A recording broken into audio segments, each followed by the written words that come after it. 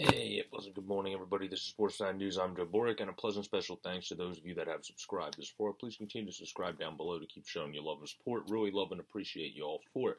This is going to be a recap of our Reading Royals not really showing up last night and losing 4 to 1 up there in Adirondack as they take on the same Adirondack Thunder team that I will be doing a preview for later this afternoon for that game this evening. But Kaplan came down only two minutes into the game, was able to set the tide for the Adirondack Thunder.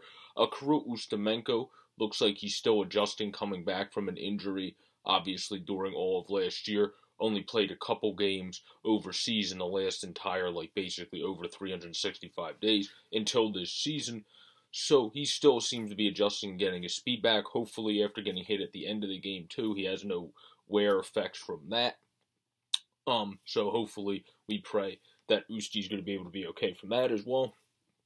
And then Rychek, he just went through the entire defense.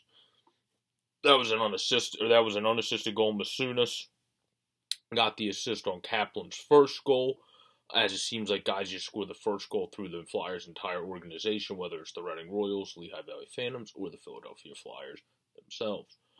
Um, Grasso was then able to get one on a bad turnover. I'm pretty sure it was Crocock that turned it over, but it was just a bad turnover in front of the net. Nothing Usti was able to do there. He was hung out to dry. And then Masunas, who picked up an assist on the Kaplan goal, was able to seal it with an empty netter, where our only goal was on a nice pass by Morrison to Ebbing, where Ebbing was able to put it in. And then Mason Millman, who was a guy that's pretty much down with Reading more for a conditioning stint, played very good thus far in his stint with the Lehigh Valley Phantoms, especially last season. Um, and then played two se- or two seasons, two games before going out this season. So it was nice to see him come in and get an assist and step up on the play. Had a couple shots in the game as well.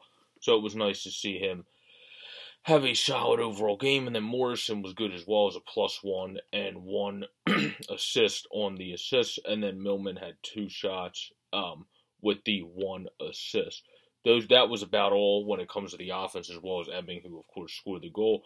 Everybody else, when it came to the start of the game, Rychik has to get one for just going through the entire defense there. Kaplan has to get one for setting the tone early.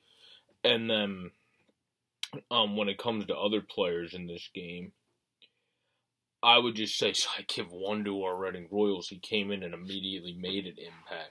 I'm just going to give it to Millman for coming in, stepping up on the play a little bit looking like the solid overall defenseman he is and really making a like name like just stepping in right away and really making a name for himself on the ice and looking like one of the better guys on the ice last night coming out for us in a bad game overall.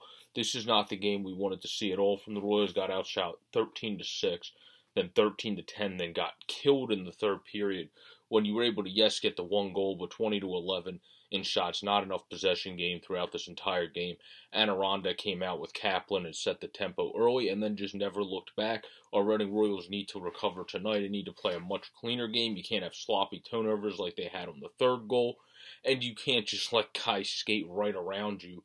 Uh, like they practically had on the first two goals. It's going to be interesting to see. I would think Hayden Hawkey will be playing in a back-to-back where they have to travel back down uh, the the highway anyway to come back here, but we'll have to see. And hopefully, Kirill is okay, since apparently he was put on the reserve list for getting over some bugaboo injury, or not not injury, but just being banged up a little bit.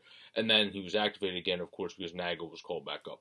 But this has been a quick recap of the Reading Royals 4 to 1 unfortunate loss last night as we look to rebound tonight against the same Adirondack Thunder. Peace out, everybody. Stay safe and enjoy the rest of the season.